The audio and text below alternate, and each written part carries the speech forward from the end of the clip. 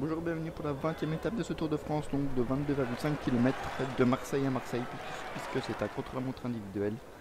Donc euh, l'Allemand Nils Polite de la Katusha a longtemps occupé la première place du classement avant d'être détrôné par ce La côte est redoutée par beaucoup de coureurs. Les Euh, pourcentages sont particulièrement rudes. Sutterling de la Movistar avec un temps de 29 minutes 32. Euh,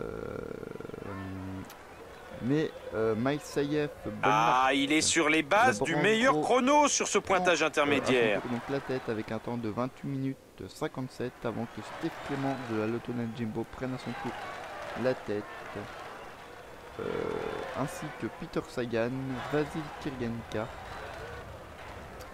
euh, et Tony Martin qui passe Il s'empare Euh, sous nos a yeux du meilleur temps 19 provisoire. secondes. Mais c'est euh, avant, donc euh, il y a eu après euh, Bob Jungels de la Quick Step qui a fait le meilleur temps.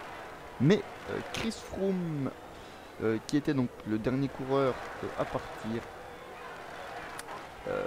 est parvenu à faire le meilleur temps et remporte cette étape pour 16 secondes d'avance sur Bob Jungels qui finit deuxième et Tom Dumoulin qui finit troisième à 17 secondes du vainqueur du jour. Donc c'est Chris Froome qui, rem- qui remporte donc le maillot jaune comme d'habitude.